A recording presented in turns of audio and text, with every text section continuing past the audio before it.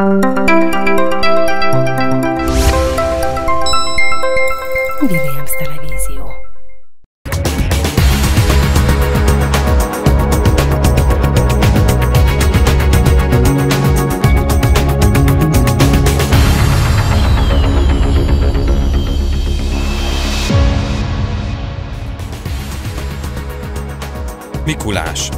Megérkezett Magyarországra a Jolopugi, és hétvégén útra kelnek a motoros Mikulások is. Melegedő.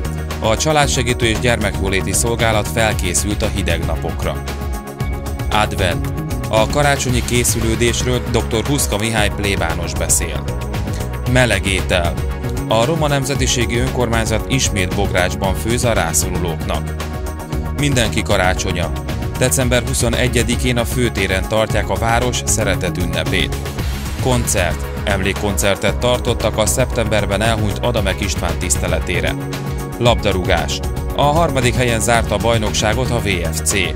Skander. Vecsési lett az év férfi skanderosa. Köszöntöm kedves nézőinket, Önök a Williams Televízió Vecsési magazin című műsorának december 5-i adását látják. Nézzük rövid híreinket.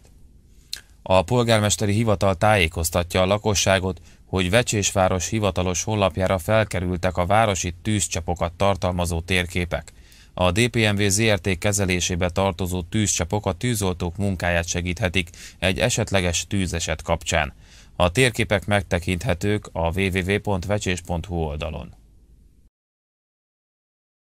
A Vecsési Városgondnok Nonprofit Kft. tájékoztatása szerint az előzetesen november végéig tervezett zöld hulladék begyűjtést meghosszabbította, mert az őszi kedvező izőjárás következtében később hullottak le a falevelek. Az utolsó zöld hulladék begyűjtés december 11-én csütörtökön lesz. Kérik, hogy december 11-e után ne helyezzék ki a zöld hulladékos zsákot az utcára, mert a közterület felügyelők bírságot szabhatnak ki érte december 20-án tartja karácsonyi koncertjét a Vecsési Hagyományőrző Zene Egyesület. A program 17 órakor kezdődik a Bálint Ágnes Kulturális Központban. A műsorban fellép a Vecsési Zeneiskola és a Music Ferány Vecsés ifjúsági zenekara, a Vecsési Zeneiskola művésztanárai, a VHZ Bavorák Quintettje, a VHZ fiataljai, valamint a VHZ fúvós zenekara. A rendezvény ingyenes. December 1-én Magyarországra érkezett Jolopuki a Finn Mikulás. December 6-án Vecsés utcáin is találkozhatunk majd néhány motoros alteregójával a gyerekek nagy örömére. December 6-án tartjuk Szent Miklós püspök ünnepét. Míg a középkorban főként a szentekre jellemző élete miatt csodálták, addig alakját manapság elsősorban egy piros ruhás, fehér szakálú, kedves idős emberrel azonosítjuk. A világ hivatalos Mikulásának számító Jólupuki valódi lakhelye Finnország, Rovaniemi Santa Vilás. Egy télen körülbelül 150 ezeren érkeznek hozzá. Közel 30 országba látogat el, és mintegy 700 ezer levelet kap. Az igazi télapó december 1-én Magyarországra érkezett. Szállítóeszköze a Liszt Ferenc repülőtéren landolt, és hazautazása előtt óvodásokkal is találkozott.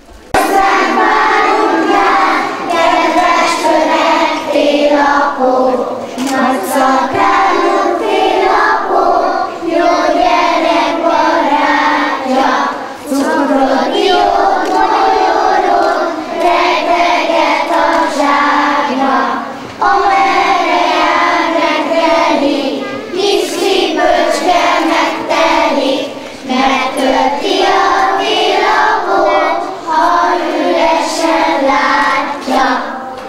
December 6-án szombaton ismét lesz motoros Mikulás felvonulás Vecsésen.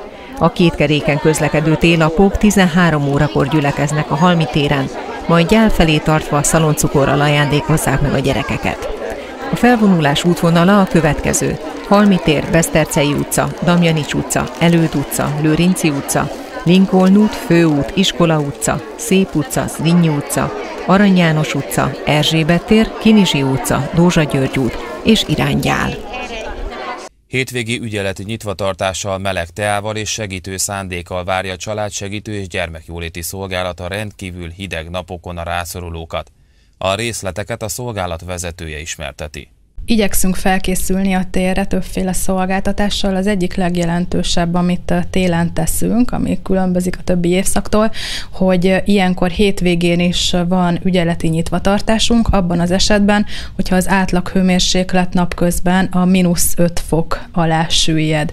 Tehát úgy értem, hogyha kint az utcán valaki fázik, és vagy, vagy pedig ez azért is fontos, hogyha lát olyan embert, aki fázik, nem tud hová menni, gondjai vannak ezzel kapcsolatban, akkor napközben 8 órától délután 5 óráig hétvégén be tudja kísérni, vagy tud neki tanácsot adni, hogy ide jöjjön be a családsegítő szolgálatba, és próbálunk neki szakszerű segítséget nyújtani.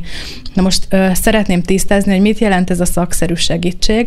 Ez azt jelenti, hogy tehát nem nappali melegedő vagyunk, és nincs konyhánk, tehát étkeztetésre és tartós itt tartózkodásra nincs lehetőség, viszont lehetőség van arra, hogy felmelegedjen az illető, itt szakszerű ellátásra, tehát családgondozó kollégával találkozik, aki segít neki abban, hogy megoldja az aktuális élethelyzetet, találjon neki esetleg egy átmeneti otthont, vagy megoldjon valamilyen lakhatást, Igaz, hogy étkeztetést nem biztosítunk abban a formában, hogy ez a háromszori étkeztetés és melegétel, stb. Viszont aki bejön hozzánk, mindig megkínáljuk egy meleg teával, illetve májkrémes szendvicset csinálunk, mert szociális bizottságtól kapunk arra keretet minden évben, hogy aki betér hozzánk, hogy oldjuk meg a problémáját, meg tudjuk kínálni étellel és itallal, amíg megkapja a szakszerű segítséget. Ez egy nagyon fontos szolgáltatás, mert volt már olyan, hogy nagyon rossz állapotban behoztak egy idős nénit, és hogyha mi nem lettünk volna, akkor nem is tudom, hogy oldódott volna meg a helyzete. Hozzá hívtunk orvost, krízisautót, és rendezni kellett, tehát stabilizálni kellett konkrétan a nénit, kellett neki találni egy állandó olyan lakhelyet utána, tehát hogy ez folyamatos szociális is munkát igénylő feladat volt, de azt hiszem, hogy az ilyen esetekben elengedhetetlenül fontos, hogy biztosítsuk ezt az ellátást. A lakosságot pedig arra szeretnénk kérni, hogy ha meglátnak valakit, mert ez nagyon veszélyes, amikor mínusz hőmérsékletek vannak napközben, ha látnak valakit, aki esetleg üldögél egy padon, vagy ne adj Isten fekszik az utcán ilyenkor, akkor ne menjenek el mellette, hanem azonnal értesítsék az intézményt intézményünket ilyenkor. Mi a tapasztalat, hogy valóban élnek ezzel a lehetőséggel a rászorulók, vagy nagyon sokszor olyan esetek derülnek ki, amikor tudják, vagy tudható egy-egy idősebb, vagy nem feltétlenül idősebb emberről, hogy szomorú körülmények között él, de büszkeségből nem jön el? Sajnos van ilyen lehetőség is. A lényeg szerintem az, hogy a lehetőséget mi biztosítsuk. Mi igyekszünk nem csak passzívan várni a rászorulókat, hanem aktívan részt venni abban, hogy feltérképezzük, hogy kinek van rá szüksége a gondozási központtal. Tartjuk ezügyben rendszeresen a kapcsolatot, hogy az időskorúakat mi is rendszeresen tudjuk látogatni családgondozás keretében. Tehát igyekszünk aktívan is feltérképezni azt, hogy a lakosság lakosság mely részének van szüksége ilyenkor segítségre. És van olyan is, aki csak betér hozzánk, mert egyedül van, és minden nap megeszi a májkrémes szendvicset, és megissza a teát, de én azt hiszem, hogy ez is nagyon fontos, mindenkinek másért fontos, de őket sem küldjük el, és őket is szívesen látjuk itt a családsegítőben, akár minden nap. Ha valakinek van otthona, lakása, ám lehet, hogy hiány szenved, akár a fűtésben, akár az étkezés terén, akkor neki tudnak-e segíteni? Nekik azért egy komplexebb családgondozásra van szükségük, tehát ilyenkor is várjuk a jelzést, kimegy a családgondozó, ilyenkor tudunk segíteni abban, hogy a rezsit, rezsitartozásokat rendezzük annak érdekében, hogy vissza tudják a szolgáltatók kapcsolni a gázt, villanyt, és írunk kérelmet, hogyha a családsegítő írja a kérelmet, kérelmet, azt azért mindig egy kicsit máshogy kezelik a szolgáltatók, tehát tudunk haladékot kérni, vagy nagyon kedvezményes részletfizetést. Tehát ez egy komplex ö, szociális munkát igényel a kollégáktól, úgyhogy ha ö, van ilyen eset, akkor is kérünk jelzést akár a szomszédoktól, akár maguktól, az érintettektől, és akkor mi igyekszünk segíteni. Elkezdődött az adventi időszak. A második gyertyát már vasárnap meggyújtjuk az ünnepi készülődés során. Az advent üzenetéről dr. Huszka Mihály plébánost kérdeztük. Az adventi szent időt mindig várakozással mm, készülünk és várjuk, és még a felnőtt és idősebb emberekben is előjön a gyermekkornak az élménye, advent, karácsony, a havas fehér hó, ropogó hó a csizma alatt, amikor hajnali misére mennek az emberek. Ezek azok a hagyományok, amelyek újra fölélednek, adventben van hajnali mise.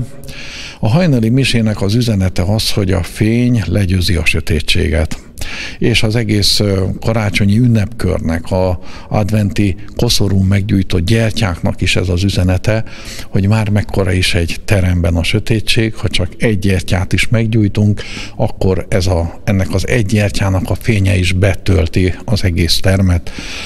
És hogyha ezt a fény hasonlatot kiterjesztjük a Isten és ember kapcsolatra, akkor a megtestesülés által Krisztus fénye, világossága jön a mi világunkba és erre készülünk, erre várakozunk. Az advent meghívása ebből fakad, hogy ébredj ember mély álmodból, hogy az ember fölfedezze azt a tervet, amit Isten róla alkotott, és ezt a tervet a Szent Fiában mutatja meg számunkra. Egy gyertyát már meggyújtottunk, és vasárnap meggyújthatjuk a másodikat is. Mit jelképeznek a gyertyák? A négy gyertya jelképezi a négy evangelistát, jelképezi a négy nagy ószövetségi profétát, akik kifejezetten megjövendölték a messiás érkezését egy olyan történelmi szituációban, amikor a választott nép számára a száműzet és a fogság volt az osztályrészük, akkor a proféták már megüzenték, hogy ima a szűző fiat fogan és fiút szül, az lesz a neve Emmanuel, ami azt jelenti velünk az Isten. Tehát a, a megtestesülésnek az öröme, ünnepe, hogy az emberségünk úgy van megalkotva, hogy képes az isteni befogadására, ez az, és erre készülni. Szeretném megemlíteni Ferenc pápának a, a, a üzenetét, hogy advent első vasárnapjával a megszentelt élet intézményeinek és a megszentelt életnek szenteljük ezt az évet. Az előző év a családoké volt, ugye a család is egy meghívás az életszentségre, férj, feleség, gyerek a családi közösség által, és Jézus is a megtestesülés által egy családba született, most pedig azoknak szentelünk egy évet, akik lemondanak a földi családi életről, de és teljes egészében Istennek akar akarják szentelni magukat, vagy úgy, hogy a kolostor falai között, vagy úgy, hogy megmaradva a világban. Erre adott egy üzenetet a pápa, és arra hív meg, hogy akik valamilyen karizmához kapcsolódva szentelik az életüket, adjanak hálát a múltért, a karizma ajándékáért, a jelenben vizsgálják meg a jelent, és legyen teli a szívük reményel a jövő iránt. A megszentelt élet intézményei és tagjai ezt az üzenetet tudják közvetíteni a ma embere számára, hogy igenis van remény. És visszatérve az adventi koszorúhoz, az adventi koszorú zöld színe és a fenyőnek a zöld színe az örökké valóságot jelképezi. Ugye a, a fenyő zöldje nem hullik le, mint hogy a többi lombhullató fák lehullatják a leveleiket. Ez a zöld a Isten örök és irántunk való elkötelezett szeretetét jelképezi. Az adventi koszorúk ma már számos színben pompázhatnak, ám az eredeti úgy tudom, hogy három lila, egy rózsaszín. A színeknek mi a jelentése, üzenete?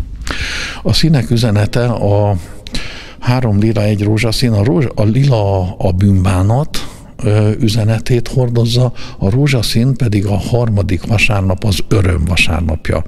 Ugyanígy a másik szent időben, a nagybőjtben is van egy öröm vasárnap, maga a, azt az örömöt akarja tulajdonképpen ez a önálló szín is jelképezni, hogy közeledik ugye a karácsony, és a színben is, ugye a a külső, a liturgia minden színe mozzanata hatással van ránk, és a, a, ebben a sötét lilában a rózsaszín még inkább szeretne aláhúzni azt az örömöt, amelyre készülünk. Az adventi időszakban már a családok készülődnek az ünnepre, karácsonyra, sütögetnek, főzőcskéznek akár már előre is, de a lelkünket hogyan készítsük fel karácsony ünnepére? A lelkünket, hát a legjobb a bűnbánattartás, aki tud, az végezzen el szentgyónást, van rá lehetőség, a bűnbánat és az Istenhez fordulás, és az Istennel való kapcsolatunknak a rendezése a legjobb útja a bűnbánattartás. Aztán különféle áhítat gyakorlatok, meghívás arra, hogy a családokba otthon készítenek adventi koszorút, együtt imádkoznak, együtt olvassák a bibliai történeteket, és mindennek az egyik gyümölcse láthatatlan, hogy lesz idő egymás számára, szülő és gyermek, gyermek és szülő, azáltal, hogy, hogy körbeölik az adventi koszorút, és kör, beszélgetnek a üdvösség történet eseményeiről, saját lelküket is meg tudják osztani egymás között, és ezáltal gazdagodnak. Tehát a, az áhítat gyakorlat, hajnali misék, szentgyónás, és bizonyos gyermekkorom egyik szép eseménye volt a szállást keres a Szent Család. Tehát 8-10 család összefogott karácsony előtt, 8-10 nappal, és minden este más-más család volt a befogadó, elénekelték ezt a szép kis éneket, hogy szállás kerest a Szent Család, és az adott család befogadta a többieket, együtt imádkoztak, énekeltek, jót beszélgettünk, és, és tényleg megadta azt a közösségi élményt, ami azt gondolom a mai ember számára a legnagyobb hiányzik. A roma nemzetiségi önkormányzat Mikulása is hamarosan útra kell, hogy rászoruló családok gyermekeit örvendeztesse meg. Az önkormányzat már a karácsony ünnepre is készül, idén is lesz Bográsban főzés és ételosztás. Igen, valóban a, Roma, a Vecsési Roma önkormányzat Mikulás csomagokat fog osztogatni a héten. Tíz éven aluli gyerekeknek, kimondottan a rászorulóknak. Hát én tudom, hogy kik azok, akik rászorulnak, és tudom, hogy kiknek van ilyen tíz év alatti gyermekük, akik valóban rászorulnak erre. Hány családot érint mindez körülbelül? Hát körülbelül olyan 20, 20 családot. Én fogom elvinni személyesen azokhoz a családokhoz, akiket tudom, hogy rászorulok. Jelmez nélkül? Hát persze, hogy is felismernek, hogy persze. Nem csak Mikulásra készülnek azonban, hanem karácsonyra is. Ismét lesz majd főzőcskézés, ám nem a mindenki karácsonyán december 21-én, hanem december 19-én. Igen, tavaly itt volt a önkormányzatnál, a nagy önkormányzattal egyetembe. Most, most mi a mi irodánkban csináljuk, tehát az udvarba 112-be, 19-én 12 órától két üst. Tehát ennivalót fogunk főzni, és forralbort. De nem csak a roma lakosoknak, tehát minden a rászorulóknak, de ezt csak hangsúlyozom a környékbelieknek is. Tehát ülőről gyermek, akik jönnek, azok is ki lesznek szolgálva. A fő út 112-ben lesznek tehát, és akkor mi minden fő majd a Bográcsban? Hát egyelőre babújás az biztos. A másikat nem tudom, de valami biztos, hogy lesz. De lehet, hogy az is az lesz, nem tudom. Kik főzik, hányan főzik? Hát a Cuni néni, hát ki, hát az évek óta ő csinálja, hát az a, a nejem. Persze. Tavaly is ezt csinálta, mindenki ezt csinál, mindig elfőzte. Körülbelül hány adag étel készül majd? Hát azt most ne kérdezze tőlem. Hát azt én, én ehhez nem értek. Egy nagy üst az biztos, egy 90, 90 literes üst, vagy 70 literes, nem tudom, de hát egy jó nagy. December 21-én megtelik étellel a főtér. Ekkor rendezik meg a városban a mindenki karácsonyát, melyen színes programok, vásárosok és meleg ital is lesz. Ismét a Lokálpatrióták Egyesülete a Vecsési Baráti Kör, a Bálint Ágnes Kultúrház és Vecsésváros önkormányzata közösen rendezzük meg ezt a több mint tizedik rendezvényünket, ahová mindenkit szeretettel meghívunk. Egy órától kirakodóvásáról a szokásos karácsonyi ajándékokat lehet megvenni, tehát dísztárgyakat, bőrösöket, pénztárcát, karácsonyi ajándékokat lehet megvásárolni, és ugyanakkor egy órától már a állatsimogató is reméljük, hogy nagy számmal megjelenő állatokkal az idén bővül ezzel a programunk. Négy órakor a szokásos mindenki karácsonyát rendezzük meg, ahol, ahol a zeneiskola növendékei a harsonás megnyitójuk után a labdarózsa énekkar fog az idén első alkalommal fellépni. Gondolom szép karácsonyi énekeket mutatnak be, majd dr. Huszka Mihály plébános úr következik és szól hozzánk a karácsony ünnepe alkalmából, majd, majd a plébános úr után a Mosolyország óvodások műsora következik, és zárásképpen a Rozmarány tánccsoport táncát látjuk, ami után viszont a szokásos süteményes kínálás következik, melegbor, lángos, forraltbor, és itt szeretném megkérni a, a tisztelt támogatókat, hogy egy tepsi nagyon finom süteményt szívesen elfogadunk. A Válint Ágnesba lesz a Lokár Patrióták szeletelő csapata, ott lehet leadni a süteményt, és hát eddig ez mindig sikeres volt, és 10-20 tepsi süteménnyel tudtuk megkínálni a kijövő karácsonyi ünneplő vecsési közönséget. Természetesen a program ingyenes, rossz idő esetén mi lesz a rendezvényel, illetve mi számít rossz időnek, hiszen térről van szó. Hát ugye rossz időben már volt részünk, amikor 10 centis hó volt.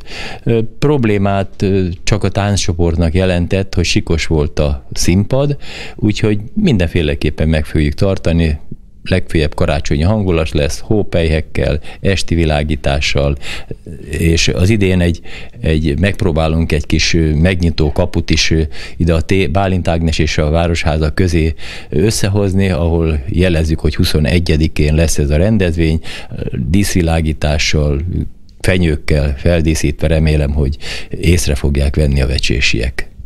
Lesz-e a városnak karácsonyfája? Igen, ennek a rendezvény alkalmából szoktuk a tér közepén felállítani és feldíszíteni.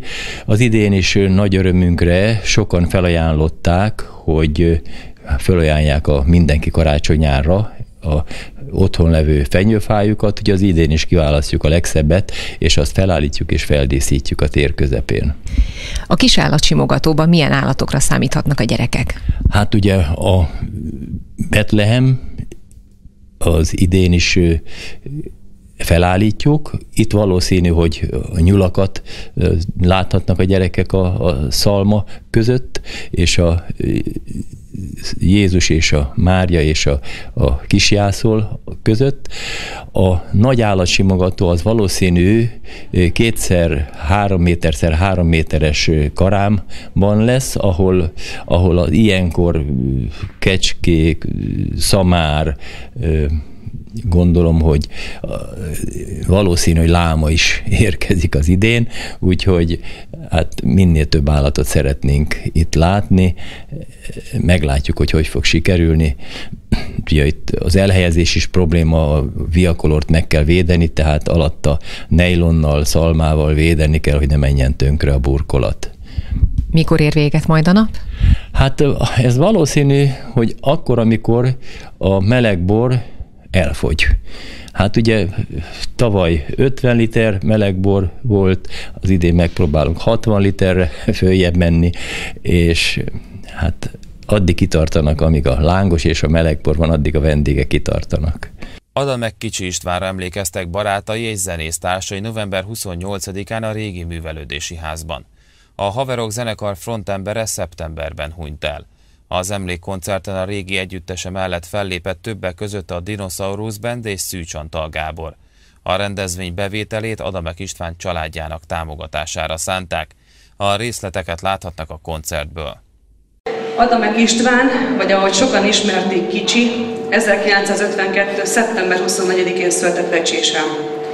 Egész életét végig kísérte a zene szeretete. Mi sem bizonyítja jobban az az életút, amit bejárt különböző zenekaraival.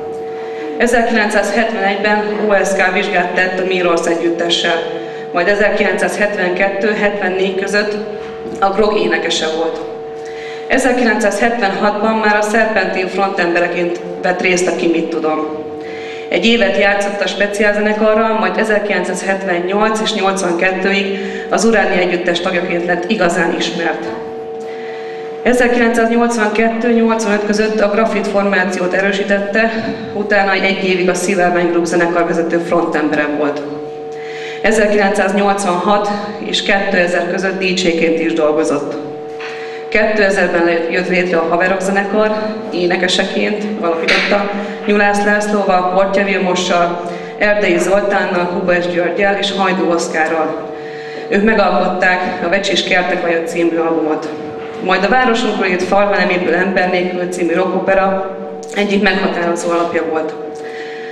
A zene mellett a családja volt a mindene. Magdival 1981-től éltek együtt, majd 1985. szeptember 27-én összeházasodtak. Három gyermekük született, Norbi 1982-ben, Anett 1985-ben, és 2005-ben Alex, akiről a Megszületett a Blues király című dalt is írta. Haláláig minden bulira vitte magával, és büszkén tanította a fiát a hangosítás rejtelmeire. De ennek a tragikusan bekövetkezett halál vegettetett véget. 2014. szeptember 20-án Adamek Kicsi István, énekes, zene és szövegíró, a haverok együttes embere végre letette a mikrofont, és elhagyta a földi színpadot. Többi már nem énekli a dalait. A mai koncerten az itt hagyott családot próbáljuk meg segíteni ebben a nehéz időben azzal, hogy ráemlékezünk, emlékét őrizzük.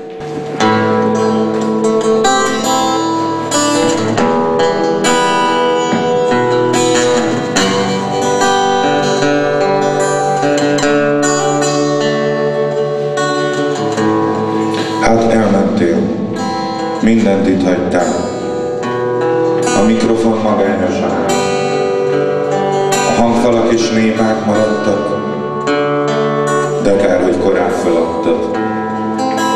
A kertek alján kóbormacska vár, hogy hangod újra hallja már. De téged az égi színpad vár, sajnos nem vagy velünk már. Dalain a haverok éneklik, a kicsi virág neked virágzik.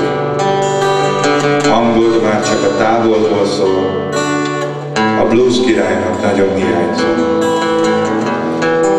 Búcsúzik mindenki tőled, legyen a föld könnyű tenéked.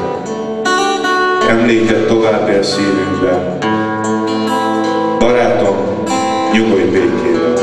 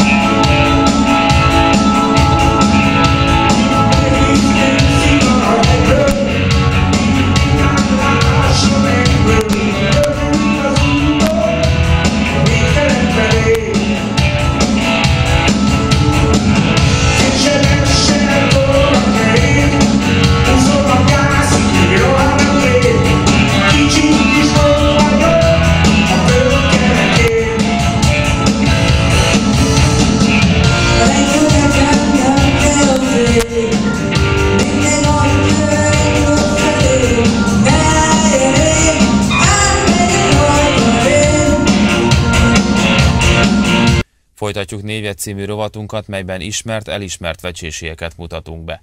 Szapanos Krisztina beszélgető társa ezúttal Heinemann Ildikó evangelikus lelkész volt. Üdvözlöm Önöket, a Vecsési magazint látják. Névje című rovatunk mai vendége Heinemann Ildikó. Üdvözlöm a stúdióban. Én is szeretettel üdvözlöm Önt, és üdvözlöm a nézőket is. Hetedik éve már, hogy Vecsésen evangélikus lelkész. Hét évvel ezelőtt hol volt, mit csinált? Mert ugye úgy nagyjából az elmúlt hét esztendőben, akik hívők, vagy legalábbis ismerik Önt, úgy nagyjából képben vannak. Hát mm, én azt gondolom, hogy talán 7 vagy 8 évvel ezelőtt az életem nehézségeit éltem. A vecsési lelkészsége mellett kórház lelkész voltam, azaz kórház lelkész most is vagyok, megmaradtam ugyanabban a pozícióban, de hát kiegészült egy vecsési lelkészséggel, akkor csak az a félállásom volt, illetve dolgoztam egy dabasi idős otthonban mentálhigiénésként. Kórházi lelkésznek lenni nem lehet egy könnyű feladat, mondjuk nem mindegy milyen osztályon. Hát az onkológián dolgozom, Ott már a nehéz. Kék Golyó utcában. Én azt mondom, hogy nagyon szép mm, élmények kötnek az onkológiához. Én kapni szoktam a betegektől is, meg biztos Istentől is, hogy ezt így lehet bírni, mert sokan csodálkoznak ugyanígy rajta, mint ön, hogy ezt hogy lehet bírni, de nagyon szeretem a, az életem része már ez az onkológiai nap, amikor ott vagyok benne a kórházban. Akkor tapasztalatai is vannak a, a tekintetben, hogy az onkológián, illetve azok az emberek, akik valóban súlyos betegek, és szeretnének akár önnel beszélgetni, akkor általában dühöt érezhetnek, megnyugvás, beletörődést, különböző fázisai vannak ugye általában egy-egy súlyos betegségnek. Általában ön melyikkel találkozik? Én azt gondolom, hogy mindegyikkel, mert attól függ, hogy mikor találkozunk. Legjobban azokat a találkozásokat szeretem, amikor nem egyszerű egy találkozás, hanem valakivel hosszú időn keresztül találkozhatok. Ez azt jelenti, hogy bemegyek az egyik héten, és mondjuk két hét múlva újra találkozunk, vagy az is előfordul, hogy nem két hét múlva, hanem hónapokkal később újra találkozunk egy új kezelésen, mert ennek a kísérésnek akkor már személyesebb jellege van, mint az egyszeri találkozásnak, és akkor már úgy köszöntjük egymást, mint talán majdnem, mint jó barátok. Tehát, hogy örül nekem, hogy én újból ott vagyok, és nagyon szívesen beszélget arról, hogy mi történt azóta vele, vagy hát nagyon sokszor ezek a beszélgetések nem a betegség körül fognak, forognak, hanem az élet körül, és ez nagyon jó. De ugyanakkor, amikor egy-egy ilyen ember meghal, akkor önből is kimegy valami, kivész valami, vagy nem szabad ennyire közel kerülni. És ez ugyanakkor egy paradoxon, mert önnek közel kell kerülni ezekhez az emberekhez, de mégse. Hát igen, annak a veszélye megvan, hogyha nagyon magunkra vállaljuk egy-egy embernek a terhét, vagy elmenését, akkor saját magunknak okozunk kárt. Ugyanakkor én mindegyiket, mindegyik beteget, akivel találkozok, és akit tényleg sikerül végig kísérni, mert hát látom rajta, hogy, hogy hova fajul a betegség, mi lesz a kimenetele, az valamiféle olyan kötődés lesz, szeretetteljes kötődés, hogy mindenképpen nehéz, amikor megtudom azt, hogy ő meghal. Menjünk időben visszafelé. Ugye most arról beszélünk, és nem véletlenül, hogy 7 évvel ezelőtt mi az, ami leginkább kitöltötte a mindennapjait a vallásgyakorlása tekintetében, és azelőtt, Én mindig úgy tartom, hogy Isten jól hozta az életembe a sorrendet. Tehát, hogy előbb születtek gyerekeim, és valamiképpen hivatásosan, vagy hivatalosan lelkész később lettem. Tehát, hogy élhettem a, az anyaságomat azzal a felszabadultsággal, hogy most csak anya vagyok, és nem kell rohanni, valamit teljesíteni, nem voltam ebben a, mégiscsak egy gyülekezetben is azt éljük át, hogy abban is van egyfajta teljesítmény, hogy le kell tenni valamit az asztalra, de akkor az volt, hogy amit teljesíteni kell, az az, hogy jó ízűen együtt lenni a gyerekekkel, és nevelgetni őket, és jó leső érzés volt ez. Minden esti mese, én azt hiszem minden reggel nagyon szerettem, vagy szeretek anya lenni most is. volt civil foglalkozása? Nem. Azaz, hát olyan módon kicsit volt, hogy a Dabason egy idős otthonban dolgoztam mentálhigiénésként, tehát nem kimondottan lelkészként. Hogyan kanyarodott a vallás felé? Mi az, ami elindította ezen az úton? Ó, hát ez nagyon régi történet, mert 13 éves voltam, amikor ez bennem kialakult, vagy Isten megszólított, akárhogy fogalmazhatunk. Ugye nem úgy nevelkedtem abban az időben, hogy, hogy a valása részese lett volna az életemnek, hanem kaptam egy levelet 13 éves korom, a Pécsen laktunk, a Pécsi lelkésztől, hogy konfirmáció van a hetedik osztályban, és vajon van-e kedvem menni? Meg oda mentem a szüleimhez, és azt mondtam, hogy én úgy szeretnék ezen részt venni. És akkor ismerkedtem meg igaziból egy, egy szereteteljes befogadó közösséggel, a Pécsi evangélikus gyülekezettel, vagy gyülekezet egy részével, és mm, furcsa módon egy iskolai fogalmazásban, hetedikes koromban fogalmaztam meg azt, hogy én evangélikus lelkész szeretnék lenni, ami hát abban az időben azért vihart kavart. Behívták a szüleimet, elbeszélgettek velük velem is, hogy mégis hogy gondolom ezt, de azt hiszem, hogy még jobban megerősödtem ebben, éppen azért, mert ilyen ellenállással találkoztam. Mikor enyhültek meg?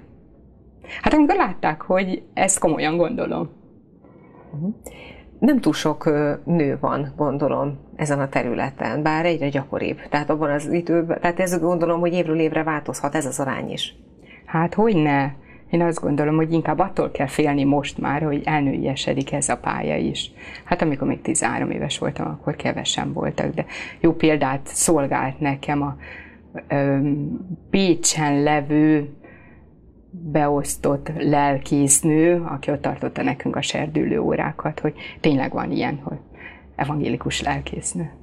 Hogyan fogadják az emberek egyébként? Tesznek bármi nemű különbséget, hogy egy lelkész vagy egy lelkésznő foglalkozik velük? Nyilván mondjuk vannak olyan emberek, akik egy hölgynek jobban megnyílnak. Vagy ez, vagy ez a szakma nem talán úgy mond? Nem hiszem. Én nem, egyrészt nem gondolom azt, hogy el kéne takarni a nemünket, mert hát először vagyok nő, hát Isten nőnek teremtett, és csak másodszor vagyok lelkész vagy lelkésznő, úgyhogy ezzel, ezzel dolgozni is kell, hogy ne legyek nemtelen. Én úgy látom, én nagyon sokszor tapasztalom meg, hogy, hogy nekem megnyílnak emberek. Most, hogy ez a nőségből adódik el, vagy sem, azt nem tudom teljesen feltérképezni, de azt szokták mondani például, hogy a férfiak azok nem szívesen mondanak el magukról dolgokat. Én meg azt tapasztalom, hogy de, szívesen mondanak el. Esetleg csak meg kell érezniük azt, hogy a másik figyel rájuk, hogy kíváncsi rájuk, hogy együttérzéssel fogadja a történeteiket, vagy az életük eseményeit, és akkor egész könnyű dolgom van, csak hallgatni kell. Azt már említette, hogy a szülei hogyan fogadták, és végül törődtek bele, hogy látják, hogy komoly az elhatározás, és a gyermekei, a családja. Hiszen az édesanyjuk előbb volt egy édesanyja, aztán egy evangélikus hmm. lelkésznő lett. A, akkor ez ott már nem volt probléma, hiszen ők egy evangélikus lelkészi családban nőttek fel, hát az édesapjuk is lelkész. Tehát ő nekik ez a megszokott. És örülök is neki, hogy olyan módon megszokott, hogy úgy érzem, hogy mind a hárman kötődnek evangélikus gyülekezethez, van amelyikük olyan aktívan részt vesz a gyülekezet életébe, hogy itt hittantanár, segít mindenféle gyerekprogramban, vagy a serdülőkkel kis zenekart alakít, úgyhogy ezt úgy érzem, hogy áldás számunkra, hogy őket nem elriasztotta azt, hogy a lelkészek a szüleik, hanem inkább belefolytak valami módon a gyülekezet életébe, és részesei ma is. Hogyan került vecsésre? Hát úgy kerültem vecsésre, hogy elment a lelkész nyugdíjba, és akkor már nálunk is olyan a az álláskeresés, mint máshol, hogy kiírnak egy pályázatot, és ezt meg kell pályázni, és szó mi szó, hogy itt is először a férfi lelkészt választották meg, mert lehet, hogy még a vecsiségek el se tudták képzelni, hogy van ilyen, hogy női lelkész, hiszen addig csak férfiakkal találkoztak, csak a férfi lelkész eljött és visszamondta ezt az állást, és akkor az Esperes úr azt mondta, hogy most már csak nők vannak, választanak a meglévő nők közül, és így választottak engem. Mi az, ami önnek vonzó volt ezen a településen, ugye városban? Hát ezt nem hiszem, hogy nagyon meg tudom mondani. Akkor mm, abban az élethelyzetben nekem egyszer csak fontossá vált, hogy mégiscsak parókus lelkész legyek valahol.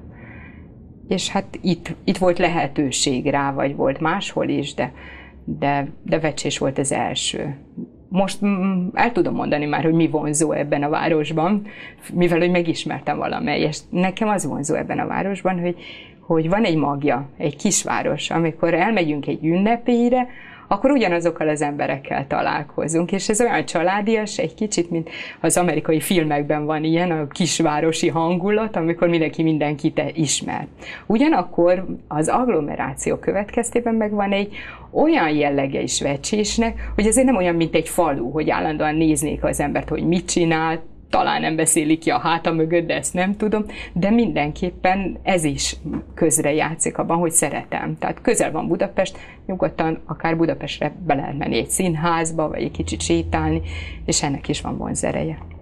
Úgy tartják, hogy egy lelkésznek valahol jó pszichológusnak is kell lennie, egy nagyon empatikus pszichológusnak, de ugyanakkor a rákerülő terheket nem viselheti folyamatosan magán amikor úgy érzi, hogy most már tel is tele vagyok a más emberek problémáival, lelki bajaival, és hát nyilván azért ön is családban él, ott is azért adódnak kérdések, felvetések, napi megoldandó feladatok. Hogyan tud leereszteni, egy kicsit hátradőlni, elrendezni a gondolatait, leünteni abból a képzeletbeli pohárból, amiben ugye néha már elég csak egy csepp. Hogyan oldja ezt meg? Hát én nagyon szeretek például kirándulni. A természet az mindig olyan erőforrást tud adni, ami kitarthat hetekig vagy hónapokig, de szeretek utazni is, látni valami újat, más embereket, mint amilyenek mi vagyunk. Hát ezt próbálom, és már amennyire az időm engedi megvalósítani, ezen kívül a otthoni hobbim vagy elfoglaltságom ez az olvasás. Így lehet mondani, leteszek egy könyvet, és rögtön veszem fel a következőt, és az egy másik világ, ugye, amelyikbe bele képzelhetem magam, és akkor egy kis ideig a főszereplővel azonosulhatok, és élhetek abban a világban, ez kikapcsol. Az is jó, hogy a mi egyházunkban például rólunk kórház lelkészekről kicsit jobban gondoskodnak. Ez azt jelenti, hogy részt veszünk úgynevezett szupervízión. Ugye a szupervízió azt jelenti, hogy felülről látás csoportban éppen most egy ilyen folyamat zajlik, ahol csoportban találkozunk, és feldolgozhatjuk mindezt, ami ér, ér bennünket. Kirándulás szempontjából vannak-e kedvenc helyei, illetve olvasmányok szempontjából kedvenc hősei, aki ha nem ön lenne, akkor szíve szerint az lenne? Hát kirándulás a hegyek. Hát pécsi születésű vagyok, és valamikor gimnázium elején tájfutottam, és talán innen is van a szeretete a természetnek, meg vitorláztam is, mert édesapám nagy vitorlás, és az is a természet, ugye, hogy kint a tavon lenni egymagunkba, egy vitorlásban, és innen gondolom, hogy a szeretet megmaradt, és a hegyek iránti szeretet is, hogy, hogy hegyekben kirándulni, és ilyen módon teljesen mindegy, hogy melyik hegyben. A irodalmi hősök, hát vagy, vagy az, hogy mit szeretek olvasni. Leginkább a mai kortárs irodalmat szeretem olvasni. És nem is tudnám megmondani, kinek a helyébe tudom beleképzelni magam, mindig akit olvasok.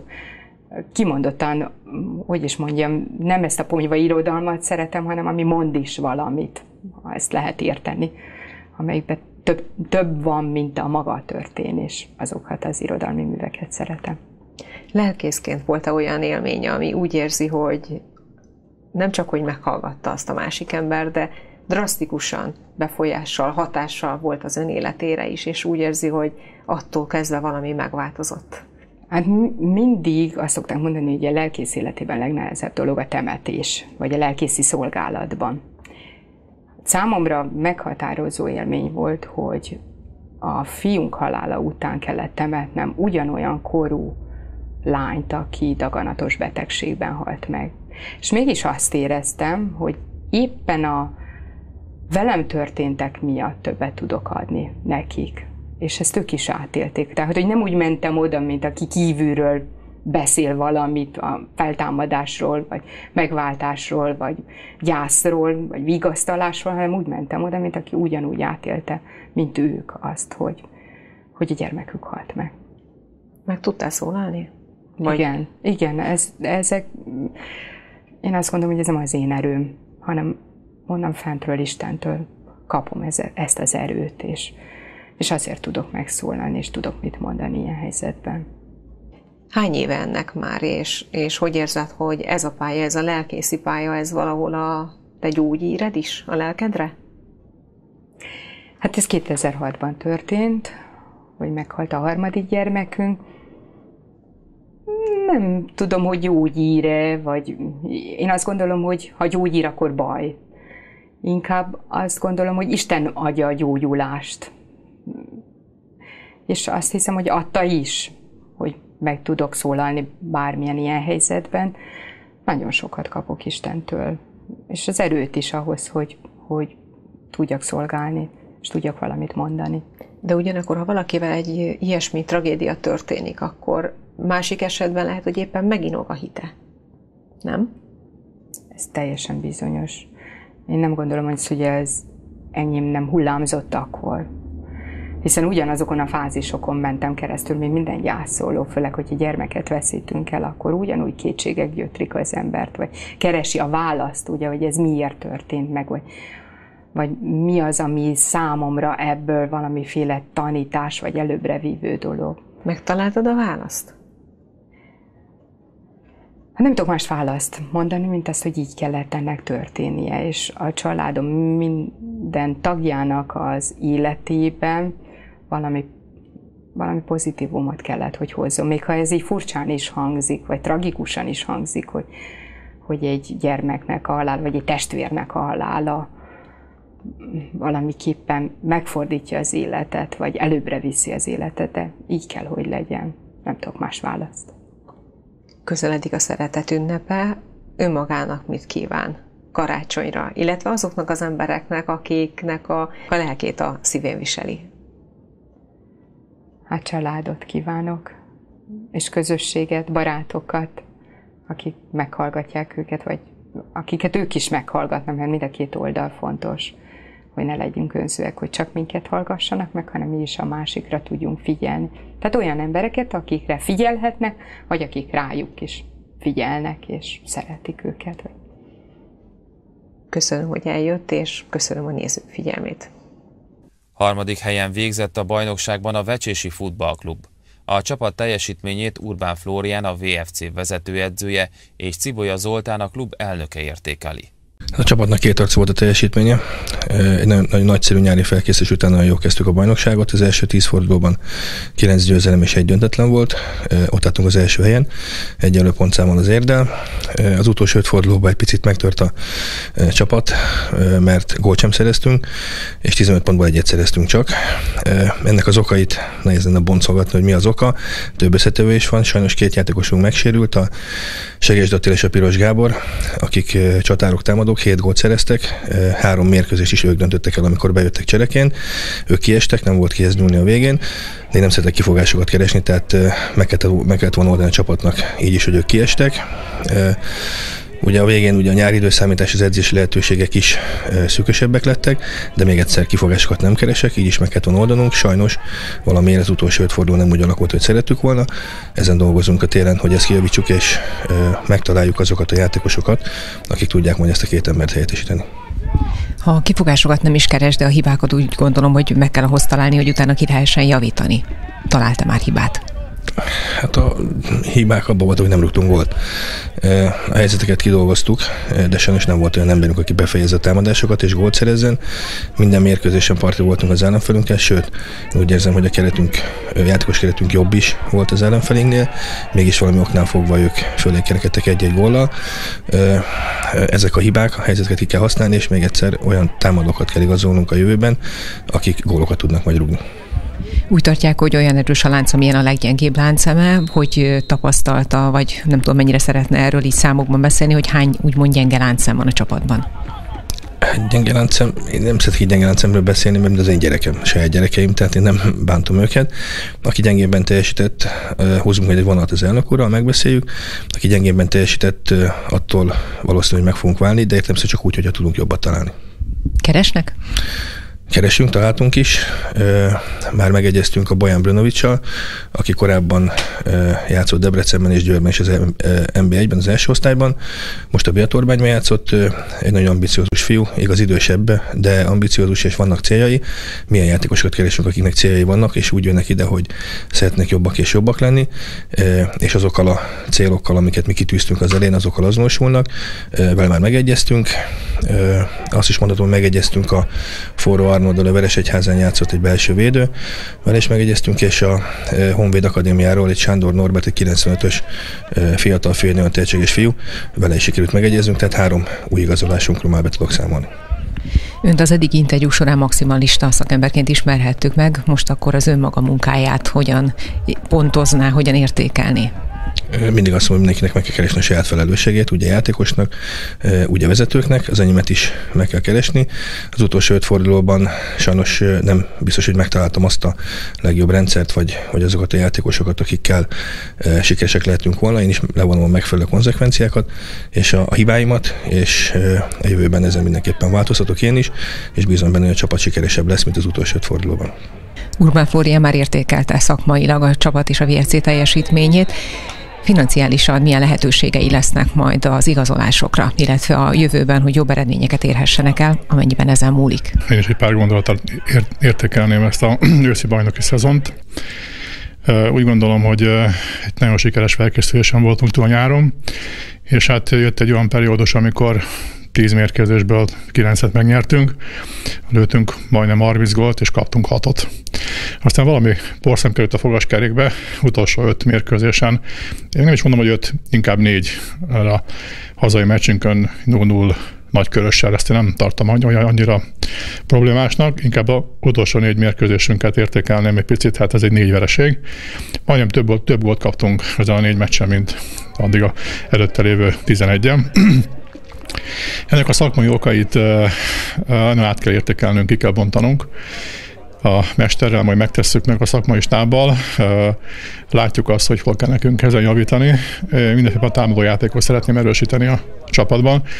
A kevés gól azt jelenti számomra, hogy azért a védelmünk a stabil és rendben van, viszont az, hogy nem lövünk gólt öt fordulón keresztül, az azt arra mutat, azt irányt mutatja, hogy támadjátékunk az gyenge. Igen, két sérülésünk volt egy pirisi mérkőzésen, két csatárunkat ugye leamortizáltak, sajnos egy mérkőzésen, mind a kettő meghatározó volt elő, nem tudtuk őket pótolni. A padon ülő, addig padon ülő csatárok nem tudták azt a teljesítményt hozni, amit tőlük elvártunk volna, így talán ez a leg, leg, legnagyobb oka annak, hogy nem sikerült öt fordulóból gólt lőnünk. A anyagi háttért azt mindenféleképpen úgy gondolom rendben van. Az önkormányzat azt fogja biztosítani, mindig eddig is megtette, maximálisan támogatja a csapatot. Persze vannak elvárások. Én mindig azt vallom, hogy muszáj teljesítmény. Tehát teljesítmény nélkül nincs támogatás. Nagyon nehéz támogatókat szerezni kívülről is, vannak apró támogatóink, de mindenki akkor tud, és akkor szívesen nyúl be a zsebébe, mert akkor támogat, hogyha van teljesítmény. A csapat harmadik helyen zárta az őszi bajnokságot. Ha abból indulok ki, hogy tavaly évvégén a csapat harmadik volt, akkor igazából ugyanazon helyen maradtunk, de más célokkal indultunk el. Mikor elkezdtük a bajnokságot, akkor azt üztük ki, hogy szeretnénk felkerülni MB3-ba úgy gondolom, hogy egy pár csatát elbuktunk, de a háborút még nem. Arra kell törekednünk itt tavasszal, hogy egy olyan csapat kell összehozni, úgy kéne a csapatot megerősíteni, hogy 15 mérkőzésből mind a 15-öt meg kell nyernünk, és meglátjuk, ez mire lesz elég. Fontos, hogy ott legyünk az érd mögött, és hát a labda kerek, bármi előfordulhat. Tehát én nem adtam fel, és nem is tudom feladni. A cél nem változott nálunk, meg kell nyerni a bajnokságot, vagy esetleg a legjobb másodikként zárni a tavaszi idényt. A vecsési Somogyi Dávid lett az év legjobb férfi szkanderosa. A 26 éves versenyző szerint ez volt az eddigi legnehezebb, egyben legsikeresebb éve. Összeszámoltam pont ebbe az évben ez volt a 11. versenyem, és még megyek egyre, majd két hét múlva egy nemzetközi versenyre Szlovákiába, úgyhogy hát úgy körülbelül minden hónapra jut egy, egy, egy verseny körülbelül. Nem, nem mindenki megy ennyi versenyre, én, én általában ilyen sok versenyen veszek részt. És hát igen, nagyon jól sikerült szerencsére ez az év, talán ez a legjobban, ugye? Évelején, januártól márciusig nagyon sok versenyen vettem részt, külföldön, és szinte példa nélkül mindenhol érmes lettem. A világbajnokságon is pontszerző helyen végeztem, úgyhogy nem volt olyan verseny, ami, ami nem, lett volna, nem lett volna sikeres. Hány országban jártál idén? Hú, ne, azt, azt nem tudom, azt nem számoltam össze, egy olyan, egy olyan 6-7 országban biztos voltam. Honnan engedtek haza a legnehezebben, tehát volt -e esetleg csábító ajánlatod? Hát ilyesmi nem volt. Igazából nem, nem szoktak megkérni, hogy oda mondjuk igazoljunk át egy másik országba, de, de nagyon sok verseny volt, ahol, ahol tényleg ö, megnyertem, vagy én döntőztem, tehát, tehát elismernek már a legjobb címet azt egy kézre adják, vagy mind a kettőre, hiszen ugye az év során beszámoltunk arról, hogy nem csak jobb kézzel vagy ügyes, hanem ballal is szép eredményeket érsz el. Hát igen, ebbe az évben volt olyan ö, több olyan verseny, ahol például balkézzel jobban sikerült, pedig ö, ugye jobban erősebb vagyok, de Hát ezt így összességébe adják, a, a, a, ítélik meg, ezt, ezt egy, ilyen, egy ilyen szakmai bizottság, a, a vezetők szavazzák meg, hogy ki legyen év végén a legjobb versenyző, és most engem választottak, tehát így összességében jobbal ballal. Hány versenyző között dől el ez a cím? Tehát magyarán mennyire kiélezett ez a verseny? Szerintem ugye akik így aktívan járunk nemzetközi versenyekre, mert ugye az egy dolog, aki mondjuk magyar versenyen ott van egy kettő-három versenyen, és mondjuk jó eredményt ér el, igazából azok között ugye döntik el az a, az a mérvadó, aki, aki nagy világversenyen, nemzetközi versenyen tud jó eredményt elérni, és úgy körülbelül az én súlyomban vagyunk egy ilyen négyen, öten akik így a legjobbak, és mi járjuk a, a világot, Európát, és, és érjük el az eredményeket. De ugye itt több kategória van. Tehát női, férfi, junior, mindenhol ö, adtak ilyen, ilyen jutalmat, díjazást. Arról is beszámoltál az évközbeni interjú során, hogy azért voltak sérülések. Most hogy van a karod? Most, hát ugye most szombaton voltam a versenyen, ezen a magyar versenyen, ahol kaptam a, a díjat, és most még milyen pihenő időszakban vagyok, mert ilyenkor év vége felé azért már rendesen érzem. Tehát ahogy elfáradok az izületek, a, az izmok, azért, azért ilyenkor már, már kicsit pihentetni kéne, csak hát sajnos ilyenkor még év vége felé is, is elég sok verseny van mm, helyek közel így jól át tudtam vészelni, volt, volt egy-két komolyabb sérülésem, de, de, de helyre jött szerencsére. A karod mely pontján, illetve melyik karodon? Hát inkább a bal kezemen szokott sérülés lenni. A jobb kezem is minden verseny után egy kicsit érzem fáj, de hát ugye ez normális, amilyen, amilyen nagy erő, erő kifejtésnek van kitéve, és, de az helyre szokott jönni. A, a bal kezem az, az, az, az folyamatosan, az, az szinte minden verseny alkalommal ö, fáj, és, és félig lesérül, de tudok vele utána versenyezni, csak, ö, csak mindig fáj és, és, és itt a könyökömnél, tehát a könyök részen szokott probléma lenni. Valakinek a vállán, a csuklóján, nekem, nekem szinte ott soha nem fáj, nekem mindig a könyökömmel van probléma. Azt mondják, hogy azért a versenysport nem feltétlenül egészséges, és gondolom, hogy a szkander sem. Ezt elvileg mennyi ideig lehet még csinálni úgy, hogy ne legyen esetleg maradandó sérülésed, vagy idősebb korodra ne emlegesd vissza saját magadat, hogy miért is csináltam ezt? Hát szerintem már most emlegetni fogom sajnos, úgyhogy eltelt annyi idő, meg annyi, annyi sérülés sajnos, hogy szerintem ezt most meg fogom érezni idősebb koromra.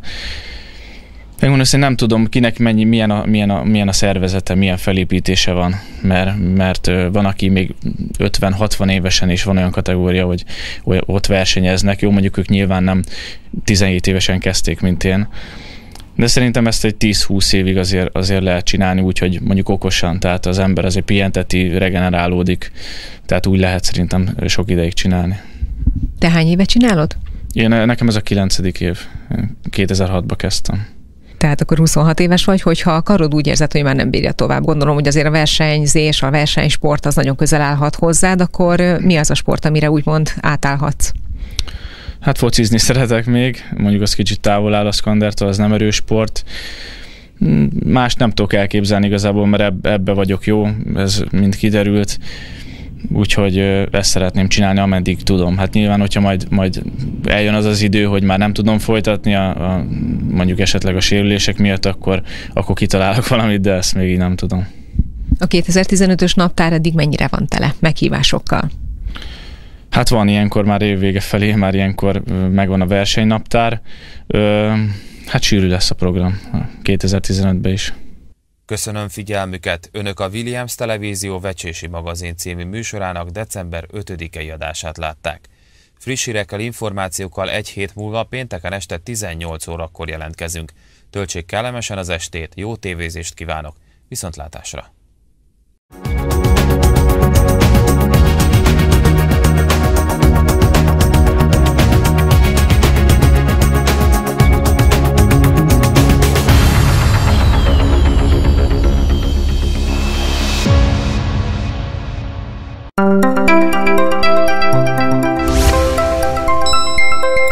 Jubilea.